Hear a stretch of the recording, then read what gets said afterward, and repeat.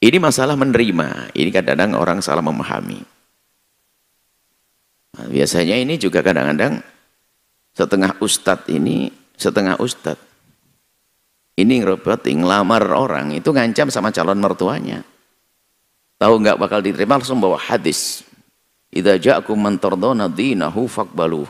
Kalau ada yang melamar anakmu hadis Nabi, Pak. Kalau ada laki-laki muslim yang punya iman yang agamanya kamu cocok, ngelamar kamu tidak kamu terima, wah awas musibah nanti. Wah ini kan maksa suruh terima.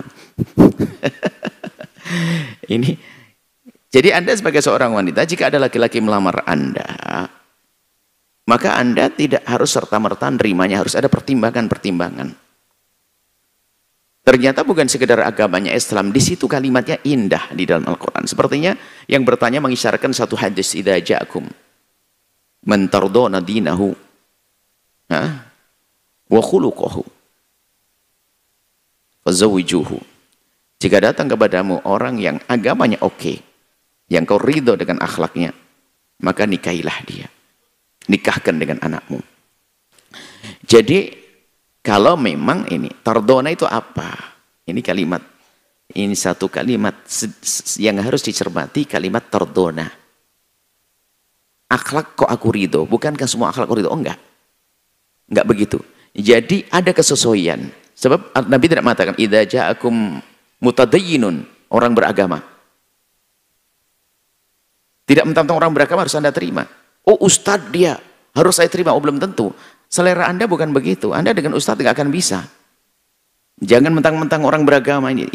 Kalimat Nabi tardon. Yang sesuai kau ridho. Bakal bisa nerima dalam karakternya, wataknya, kebiasaannya. Kesesuaian, kecocokan. Bukan sekedar agamanya baik. Oh enggak. Tardona. Kalimat tardona itu kamu itu nyaman ke depannya. Itu adalah sesuai dengan hasab yang disebutkan oleh baginda Nabi.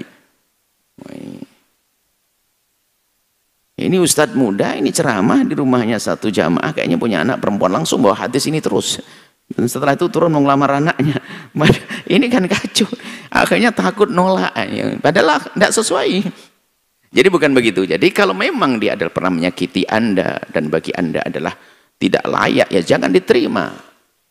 Setelah Anda menyaksikan video ini, Jangan lupa berselawat kepada baginda Nabi Muhammad sallallahu alaihi wasallam.